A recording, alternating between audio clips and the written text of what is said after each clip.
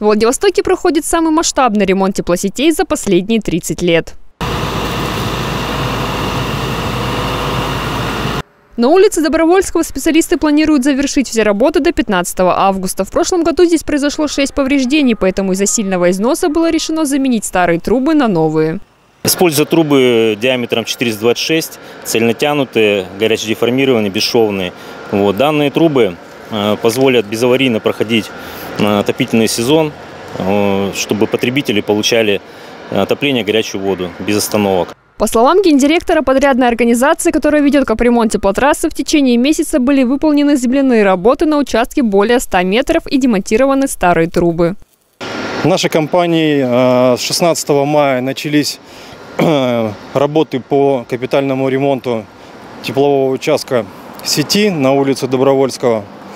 В настоящее время произведены земляные работы порядка 110 метров – Э, произведен демонтаж старых железобетонных лотков, старых труб.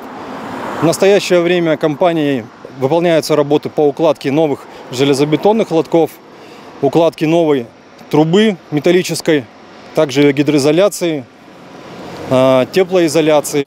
Ремонт неизбежно влечет за собой отключение горячей воды. Горожан призывает с пониманием отнестись к проводимым работам, ведь теплосети имеют большой износ и менять их надо обязательно. Анна Дьякова, новости на восьмом.